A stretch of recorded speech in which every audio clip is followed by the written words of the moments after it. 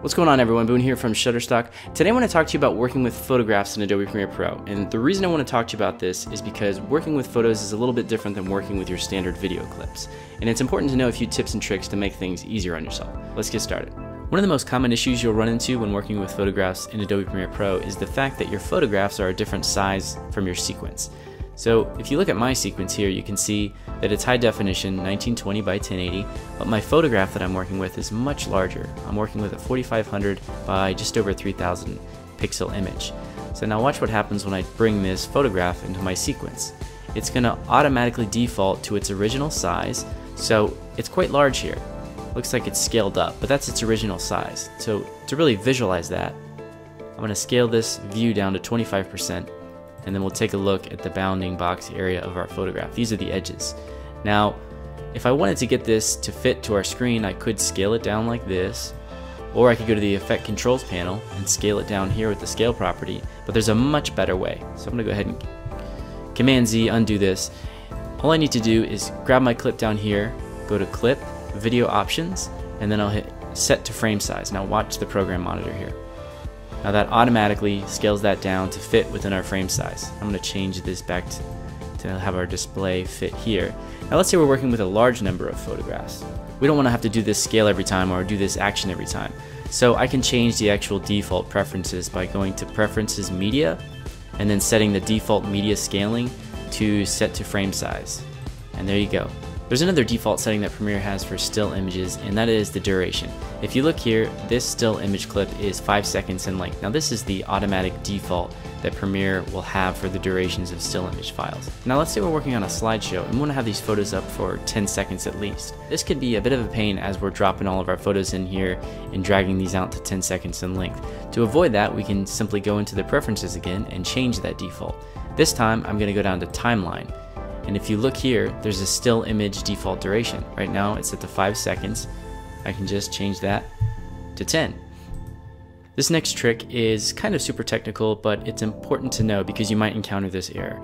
Now let's say I got sent an image by someone and I go to take this image, they want it in the project, so I go to drag it in and I get this error message that says the video bit depth of this file is unsupported.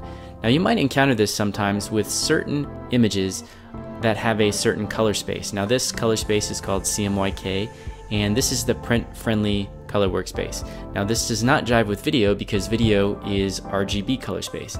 So to solve this problem, I can go over to the photo and open it up in Photoshop and then simply change that color space. So here's my image. I can go up to image, mode, and you look down here, it says CMYK color. I can simply switch that to RGB save this file out. And now when I go back to Premiere and I go to re-import this photo, it should import just fine. One of the coolest things about bringing photographs into Premiere Pro is the fact that you can bring them to life with keyframes and movements. You can actually simulate camera movements by keyframing position, scale, or rotation properties. First I'll open up the Effect Controls panel. If you can't see it, just go to Window, Effect Controls, and now this gives me all of my properties for my clip here. So now if I simply add a position and scale keyframes and put that at the end, and then I can change these, can scale it up to 100. Now we're going to kind of simulate this movement. It's going to be all the way zoomed in here. And it's really as simple as putting beginning and end keyframes for each property that you want to animate. And then just adding a little bit of ease here. And now you can see by adding these keyframes, I now have some movement on my photograph. I don't even have to zoom it all the way out like that. I can keep it to right here. Just like that, in a few seconds, I've brought a little bit of movement into this photograph. For my final tip, I want to talk about bringing Photoshop files into Premiere Pro. Now, I already did a full-blown article and video tutorial on this, and I will link to that in this article, but I just could not leave this tip out of this article because this is one thing that you really need to be aware of if you're working with photos in Premiere Pro. So I'm going to go over here to my Finder and I have a Photoshop file here which consists of two simple layers. It has a text layer and then it has my image layer. So now watch what happens when I bring this into Premiere Pro. Premiere is going to give me a little dialog box and it's going to allow me to really control what I do with these layers. And this is the beauty of working with two Adobe programs is that they obviously are going to work really well together. So you see here I have four different options. I can merge all the layers. I can merge individual layers together that I specify. I can import just all the individual layers of the Photoshop file, or I can import the individual layers within a sequence.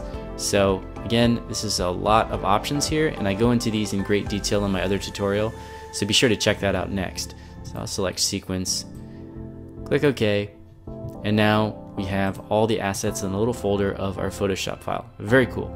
Okay, I hope you enjoyed the tutorial and I'll see you next time.